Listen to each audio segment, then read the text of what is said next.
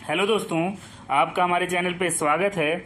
आज फिर से हम आपके लिए कुछ ऐसे इंपॉर्टेंट क्वेश्चन लेकर आए हैं, जो आपके लिए बहुत ही ज़्यादा महत्वपूर्ण है, आपके एग्ज़ाम में पूछे जा सकते हैं। इसलिए आप हर एक क्वेश्चन को ध्यान से पढ़िएगा और वीडियो को लास्ट तक देखिएगा। आइए पहले क्वेश्चन पे ध्यान देते हैं। पहला क्वेश्चन है हमारा होएन सांग किसके शासनकाल में भारत आया था? आपको बताना है होएन सांग किसके शासनकाल में भारत आया था? समुद्रगुप्त चंद्रगुप्त विक्रमादित्य, हर्षवर्धन या फिर स्कंदगुप्त। इसमें से जो सही उत्तर है वो आपको बताना होगा। तो इसमें आपका ये जो सही उत्तर है वो हर्षवर्धन है, क्योंकि इन्हीं के शासनकाल में होनसांग भारत आया था। अगला क्वेश्चन है हमारा इन बादशाहों में से किसे कलंदर कहा जाता था? आपको बताना है कि जो बादशाह के नाम नीचे दिए गए हैं, इनमें से किसे कलंदर कहा जाता था? बाबर, हुमायूं, अकबर या फिर शाहजहां? तो इसमें से जो सही उत्तर है, वो बाबर है, इसलिए ए नंबर ऑप्शन जो है वो आपका बिल्कुल सही होगा। अगला क्वेश्चन है, बंगाल का विभाजन करने वाला गवर्नर जनरल था। आपको बताना है, बंगाल का विभाजन करने वाला गवर्नर जनरल कौन था? करजन कैनिंग, मिंटो या फिर मेयो। आपको बताना है इसमें से जो सही उत्तर है तो सही उत्तर आपका ए नंबर है, या विभाजन जो है वो कर्जन ने किया था, इसलिए ए नंबर ऑप्शन जो होगा बिल्कुल सही होगा। अगले क्वेश्चन पे ध्यान देते हैं। अगला क्वेश्चन जो है हमारा किससे जुड़ा हुआ है? अगला क्वेश्चन है जेजाक ध्यान दीजिएगा क्वेश्चन हमारा क्या है? जेजाक भुक्ति का पुराना नाम था, आपको बताना है जेजाक भुक्ति का पुराना नाम क्या था? इलाहाबाद, सौराष्ट्र, बुंदेलखंड, कानपुर। इसमें से कौन सा उत्तर सही होगा? तो इसमें से जो सही उत्तर है आपका, वो सी नंबर है बुंदेलखंड। बुंदेल, बुंदेलखंड जो है वो सही उत्तर होगा। अगला क्वेश्चन है हमारा। अगला क्वेश्चन देखिए, महाबलीपुरम के रथ मंदिरों का निर्माण किसने कराया था? महाबलीपुरम के रथ मंदिरों का निर्माण किसने कराया था? नरसिंह वर्मन, फ़र्स्ट, महेंद्र वर्मन सेकेंड अमोघ वर्ष या फिर राजेंद्र फ़र्स्ट। इसमें से कौन सा उत्तर सही होगा? तो इसमें ए नंबर जो है बिल्कुल सही होगा। ए नंबर में है आपका नरसिंह वर्मन फ़र्स्ट। अगला क्वेश्चन है हमारा, प्लासी का युद्ध कब लड़ा गया था? प्लासी का युद्ध कब लड़ा गया था? सत्रह में कि सत्रह सत्तावन में या फिर सत्रह चौसठ में या फिर सत्रह बयासी में तो आपको बताना है कि किस वर्ष जो है, प्लासी का युद्ध लड़ा गया था तो इसमें बी नंबर जो है आपका सही होगा, इस सत्रह सौ सत्तावन में लड़ा गया था, इसलिए बी नंबर ऑप्शन सही होगा।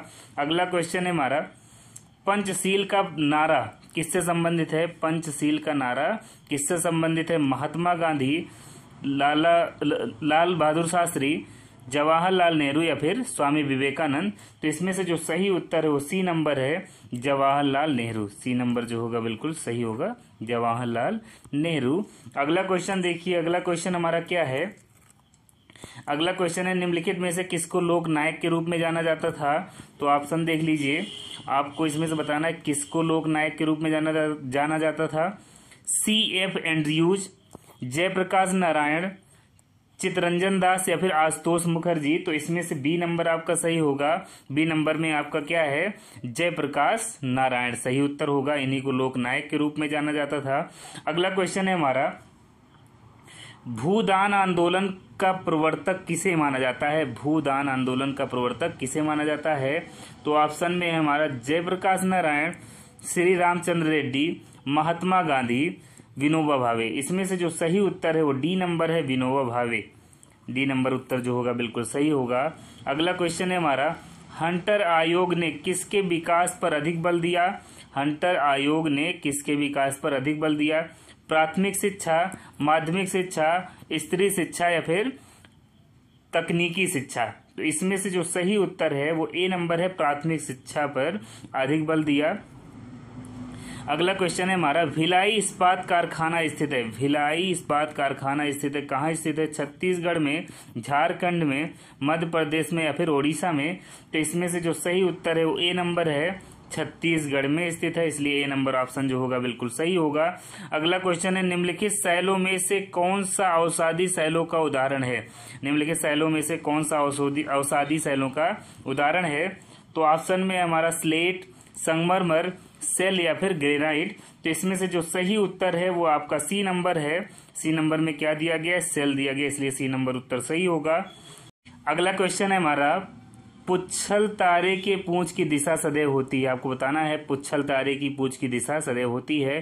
सूर्य की ओर, सूर्य से दूर, उत्तर पूर्व की ओर, दक्षिण पूर्व की ओर। तो जो इसमें सही उत्तर है वो आपको बता देना होगा। तो पुच्छल तारे के पूंछ की जो दिशा होती है, वो सूर्य से दूर होती है, इसलिए बी नंबर ऑप्शन जो होगा बिल्कुल सही होगा।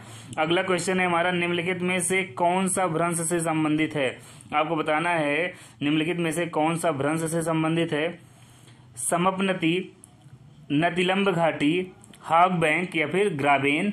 तो इसमें से जो सही उत्तर है, वो आपका डी नंबर है। ग्राबेन जो है वो भ्रंश से संबंधित है, इसलिए डी नंबर ऑप्शन सही होगा। अगला क्वेश्चन है, निम्नलिखित में से कौन सा उष्ण कटबंधीय मरुस्थल नहीं है? आपको बताना है, निम्नलिखित में से कौन सा उष्ण कटबंधीय मरुस्थल नहीं है? आटा, कामा, अरबिया गोभी या फिर कालाहारी? इसमें से जो सही उत्तर है, वो आपको बता देना होगा। तो इसमें सही उत्तर सी है, गोबी। सी नंबर उत्तर जो होगा, सही होगा। ये उष्ण कटबंधीय मरुस्थल नहीं है। अगला क्वेश्चन है हमारा, निम्नलिखित में से कौन सा भुगतान संतुलित सूची के अंतर्गत नहीं आता है? तो ऑप्शन देख लीजिए। ऑप्शन में हमारा, बाय ऋणों का बजट अनुमान, भारत और विदेशों के बीच अंतरण, भारत आईएमएफ और विश्व बैंक के बीच अंतरण, संघ क्षेत्रों को दिए गए अनुदान। इसमें से जो सही उत्तर है वो आपको बताना होगा। तो इसमें जो सही उत्तर है वो डी नंबर है। संघ क्षेत्रों को दिए गए अनुदान। डी नंबर ऑप्शन सही होगा। अगला क्वेश्चन है हमारा, अनुसूचित जाति जन या जनजाति के लिए छठी पंचवर्षीय योजना में कितना धन व्यय हुआ? आपको बताना है, अनुसूचित जाति या जनजाति के लिए छठी पंचवर्षीय योजना में कितना धन व्यय हुआ? दो सौ सत्ताईस, दो सौ सैंतीस करोड़, तीन सौ करोड़, पाँच सौ करोड़ या फिर छह सौ करोड़। इसमें से कौन सा सही उत्तर है, ये आपको बताना है। जो सही उत्तर होगा, उसी पे आपको सही निशान लगा देना होता है, उसी ऑप्शन पे। तो इसमें आपका C number sorry B number सही होगा, तीन सौ करोड़। तीन सौ करोड़ जो है वो सही उत्तर होगा। इस प्रश्न के लिए अगला क्वेश्चन है हमारा, किस पंचवर्षीय योजना, ध्यान दीजिए क्वेश्चन हमारा, किस पंचवर्षीय योजना में गरीबी हटाना इसके अग्रवर्ती लक्ष्य के रूप में अंगीकार किया गया था। ध्यान दीजिएगा, आपको बताना है किस पंचवर्षीय योजना में गरीबी हटाना, इसके अग्रवर्ती लक्ष्य के रूप में अंगीकार किया गया था। दूसरी, तीसरी, चौथी या फिर छठी। इसमें से जो सही उत्तर है वो आपका डी नंबर है छठी। डी नंबर जो है बिल्कुल सही उत्तर होगा। छठी अगला क्वेश्चन है हमारा, महात्मा गांधी राष्ट्रीय ग्रामीण रोज़गार गारंटी स्कीम प्रारंभ हुई। तो किस वर्ष में प्रारंभ हुई, आपको बताना है? महात्मा गांधी राष्ट्रीय ग्रामीण रोज़गार गारंटी स्कीम। तो 2005 में 2003 में 2006 में 2008 में। तो इसमें सी नंबर सही होगा। ये जो है वर्ष 2006 में शुरू हुई, इसलिए सी नंबर ऑप्शन सही होगा। अगला क्वेश्चन है हमारा आरबीआई की संतुति के आधार पर बनाया गया। आपको बताना है, आरबीआई किसके संतुति के आधार पर बनाया गया। तो ऑप्शन देख लीजिए, संस्तुति। ऑप्शन देख लीजिए, भारतीय केंद्रीय बैंक जाँच समिति, रॉयल कमीशन, साइमन कमीशन या फिर नेहरू रिपोर्ट। तो इसमें से जो सही उत्तर है, वो आपका जो आपका बी नंबर है, वो सही होगा, royal commission. B number option जो होगा, वो सही होगा। रॉयल कमीशन की संस्तुति के आधार पर बनाया गया था आरबीआई को। अगला देखिए क्या है। अगला क्वेश्चन भारतीय संविधान का कौन सा भाग मौलिक अधिकारों से संबंधित है? तो इसमें से ऑप्शन देख लीजिए, भाग एक, भाग दो, भाग तीन या फिर भाग चार। तो इसमें से जो मौलिक अधिकारों से संबंधित है, वो आपका सी नंबर ऑप्शन होगा, भाग तीन। सी नंबर ऑप्शन जो होगा, बिल्कुल सही होगा। अगला क्वेश्चन पंचायती राज को सुदृढ़ करने हेतु भारतीय संविधान में निम्नलिखित में से कौन सा संशोधन किया गया? आपको बताना है, पंचायती राज को सुदृढ़ करने के लिए भारतीय संविधान में निम्नलिखित में से कौन सा संशोधन किया गया? बयालीसवां संशोधन, चौवालीसवां संशोधन, तिहत्तरवां संशोधन या फिर छियासीवा छियासीवा संशोधन। तो इसमें आपका सी नंबर सही होगा। तिहत्तरवां संशोधन। सी नंबर ऑप्शन जो है बिल्कुल सही होगा। अगला क्वेश्चन है, हमारा अंतर्राष्ट्रीय न्यायालय का मुख्यालय स्थित है। अंतर्राष्ट्रीय न्यायालय का मुख्यालय कहाँ स्थित है? न्यूयॉर्क में, लंदन में, हेग में या फिर पेरिस में? तो इसमें से जो सही उत्तर है वो सी नंबर है या हेग में स्थित है, इसलिए सी नंबर ऑप्शन जो होगा सही होगा। अगला क्वेश्चन है, हमारा जनसंख्या नियंत्रण व परिवार नियोजन विषय, भारतीय संविधान के अंतर्गत। किस सूची में शामिल है? आपको बताना है, जनसंख्या नियंत्रण व परिवार नियोजन विषय भारतीय संविधान के अंतर्गत किस सूची में शामिल है? राज्य सूची, संघ सूची, समवर्ती सूची या फिर अवशिष्ट विषय तो इसमें से आपका सी नंबर सही होगा, क्योंकि यह जो है, समवर्ती सूची में शामिल है, इसलिए सी नंबर ऑप्शन जो होगा वो सही होगा। अगला क्वेश्चन है हमारा निम्नलिखित में से कौन सा नीति निदेशक सिद्धांत विदेशी नीति से संबंधित है? आपको बताना है, निम्नलिखित में से कौन सा नीति निदेशक सिद्धांत विदेशी नीति से संबंधित है? अनुच्छेद अड़तालीस, अनुच्छेद उनचास, अनुच्छेद पचास या फिर इक्यावन। तो इसमें से आपका डी नंबर सही होगा, अनुच्छेद इक्यावन। डी नंबर ऑप्शन सही होगा। अगला क्वेश्चन है हमारा, जेली बनाने के लिए किस परिरक्षक का प्रयोग होता है? जेली बनाने के लिए किस परिरक्षक का प्रयोग होता है? सरकरा पेक्टिन सल्फाइड या फिर सल्फ़र डाइऑक्साइड तो जेली बनाने के लिए पेक्टिन का उपयोग होता है, इसलिए बी नंबर ऑप्शन जो होगा बिल्कुल सही होगा। अगला क्वेश्चन है, केसर प्राप्त किया जाता है, आपको बताना है, केसर प्राप्त किया जाता है। कलिका से, पत्ती से पुष्प वर्तिकाग्र से या फिर बाय दलपुंज से तो केसर जो है पुष्प वर्तिकाग्र से प्राप्त किया जाता है, इसलिए आपका जो सी नंबर ऑप्शन होगा वो सही होगा। पुष्प वर्तिकाग्र से। अगला क्वेश्चन है, मानव शरीर में कुल कितनी पसलियाँ होती हैं? आपको बताना है, मानव शरीर में कुल कितनी पसलियाँ होती हैं? बाईस, छब्बीस चौबीस या फिर अट्ठाईस? तो पसलियों की संख्या है, मानव शरीर में वो चौबीस है, इसलिए सी नंबर ऑप्शन जो होगा बिल्कुल सही होगा।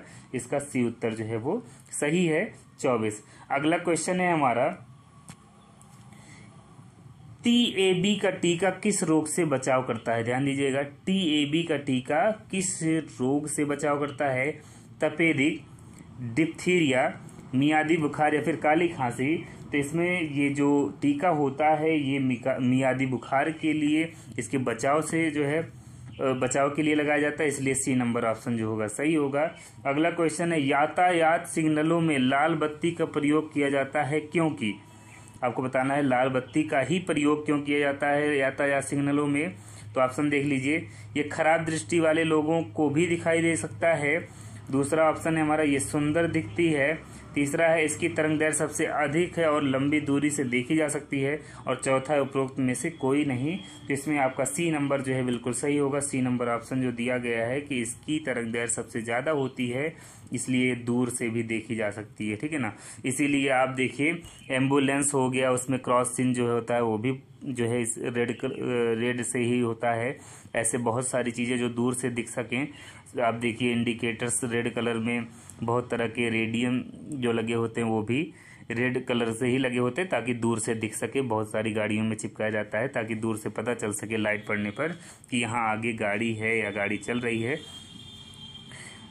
वीडियो पसंद आया हो तो आप लाइक कर दीजिएगा और चैनल को सब्सक्राइब कर लीजिएगा।